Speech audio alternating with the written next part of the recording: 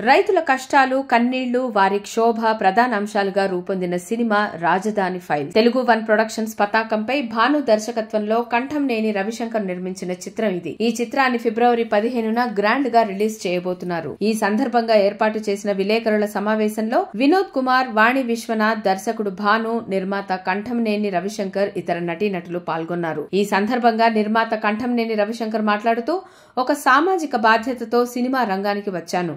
మనం తీసే సినిమా సమాజానికి ఎంతో కొంత ఉపయోగపడాలనే ఉద్దేశంతోనే ఈ సబ్జెక్టుని ఎంపిక చేసుకోవడం జరిగింది. నేను రైతు బిడ్డను. రైతులు పడుతున్న కష్టం వారి వ్యధను చూసి నా వంతుగా ఏదో ఒకటి చెయ్యాలనుకున్నాను. మీడియాలో ఇరవై నాలుగేళ్ళ నుంచి ఉన్నాం. దానికి ఎక్స్టెన్షన్గా సినిమాల్లోకి వద్దామనుకున్నప్పుడు రైతులు పడుతున్న బాధ చూశాం వారి కష్టం చూశాం వారి త్యాగం చూశాం. ఒక రైతు బిడ్డగా అది నాకు కూడా తెలుసు.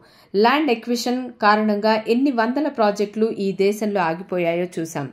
అటువంటిది స్వచ్ఛందంగా కొన్ని వేల ఎకరాల భూములను రైతులు ఇస్తే దాన్ని హేళన చేస్తూ ఆయా రైతులను క్షోభ పెడుతున్న అంశాన్ని ఇన్స్పిరేషన్గా తీసుకొని రైతుల పక్షాన ఓ సినిమా తీయాలనుకున్నాం. ఈ సినిమా ఏ పార్టీకి వ్యతిరేకం కాదు ఏ పార్టీకి అనుకూలం కాదు. అక్కడ మాకు కనిపించింది రైతు కళ్ళల్లో కన్నీళ్ళు మాత్రమే.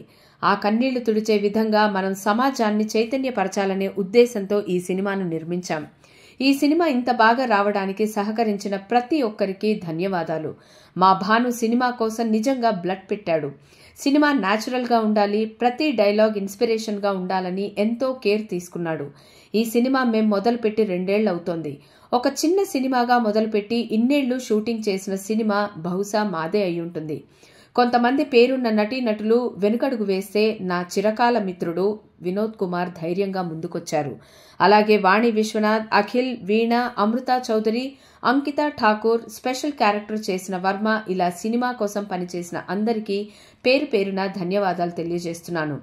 సంగీతం సమకూర్చిన మణిశర్మ గారికి పాటలు రాసిన రాంబాబు గారికి సుద్దాల అశోక్ తేజ గారికి గురుచరణ్ గారికి ధన్యవాదాలు. అందరి కుటుంబాల్లో ఏదో ఒక తరంలో రైతు ఉండి ఉంటాడు. వారిని గుర్తు తెచ్చుకోండి మీరందరూ బాధ్యతగా ఫీల్ అయి ఈ సినిమాని మరింత ముందుకు తీసుకెళ్ళడానికి ప్రయత్నం చేయాలని కోరుకుంటున్నాను అని అన్నారు.